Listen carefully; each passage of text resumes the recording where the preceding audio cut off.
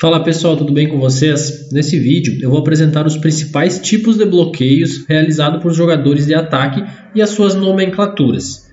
Esses bloqueios, quando estruturados de forma lógica, formam os chamados conceitos de jogo corrido, tá? Como mostra aqui nessa imagem. E logo logo aqui no canal, né, eu farei alguns vídeos falando mais sobre os conceitos propriamente dito. Então hoje nós vamos conhecer esses bloqueios de forma individual. Mas antes de entrar em mais detalhes, peço que não esqueçam de deixar o seu like no vídeo, se inscreverem no canal e comentar aqui embaixo o que vocês acharam, certo? Vamos aos bloqueios. O down block é feito normalmente em um jogador do interior da linha defensiva.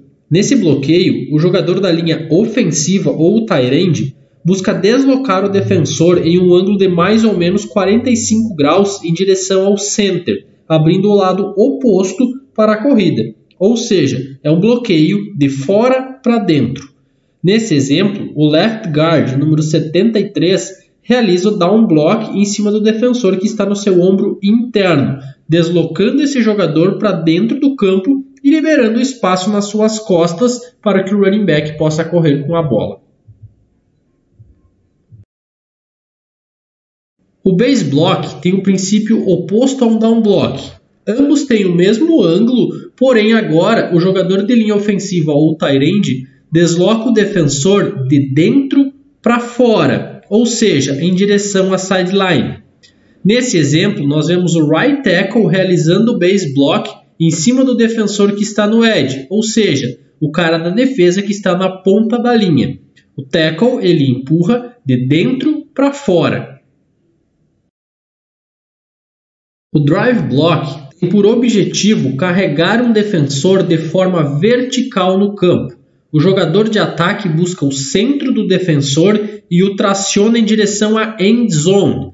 Nesse exemplo, nós vemos todo o lado direito da linha ofensiva tentando buscar o centro do defensor de sua responsabilidade na jogada e o bloquear em direção ao fundo do campo, a fim de ganhar território para o ataque. O combo block, também chamado de double team, é feito por dois jogadores de ataque em cima de um defensor. Normalmente, os dois bloqueadores buscam tracionar o defensor no campo em direção ao segundo nível da defesa, onde geralmente um deles irá bloquear o linebacker. Nesse exemplo, o center e o right guard realizam um combo block em cima do defensor interno. Os dois colocam as suas mãos nesse defensor e o tracionam até o linebacker, onde um deles vai assumir esse outro defensor conforme ele se apresentar na jogada.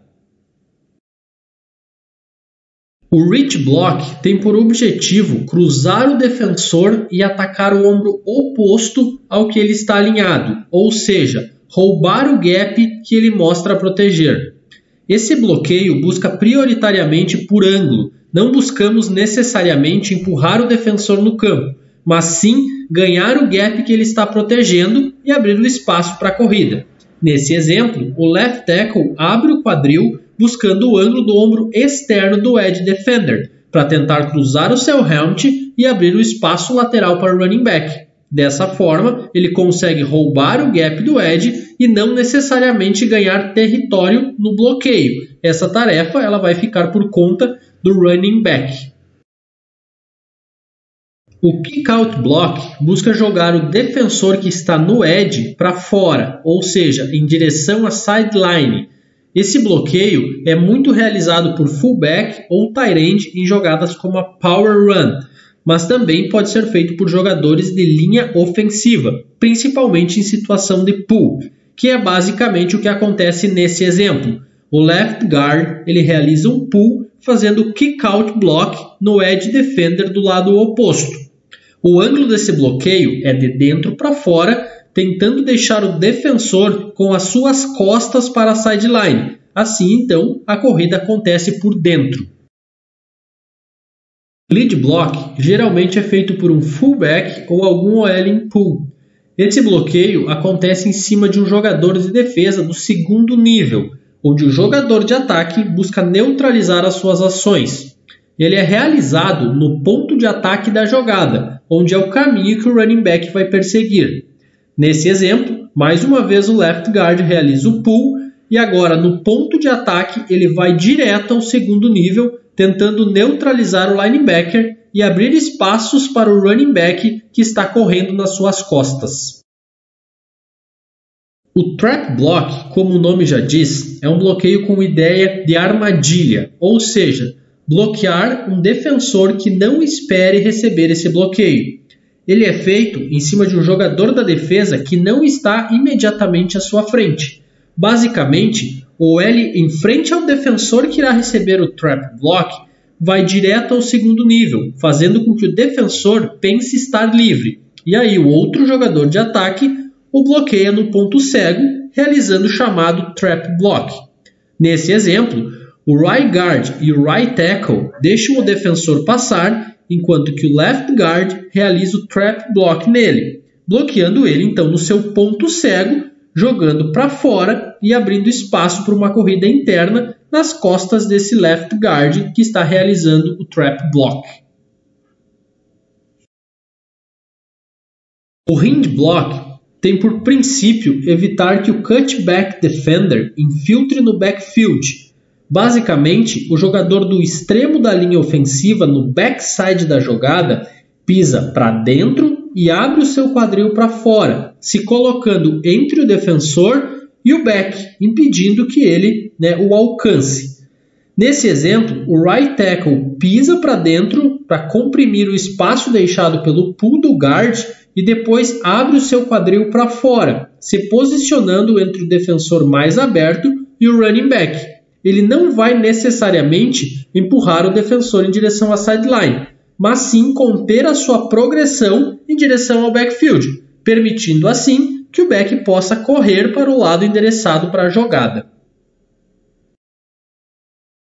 O beam block tem uma ideia semelhante ao ring block, ele também é realizado em cima do cutback defender para impedir a sua penetração. O beam block é feito por um jogador de ataque que não está alinhado diretamente à frente a esse cutback defender.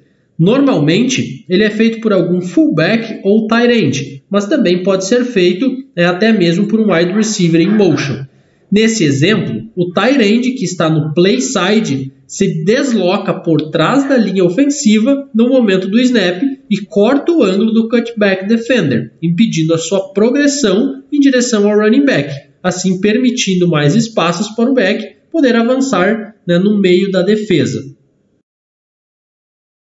O crack block pode ser feito em primeiro ou segundo nível, ou seja, no edge defender ou até mesmo em um linebacker ou defensive back. Ele é um bloqueio de fora para dentro, feito por qualquer jogador que está fora do box ofensivo. Normalmente, um wide receiver é o encarregado por esse bloqueio.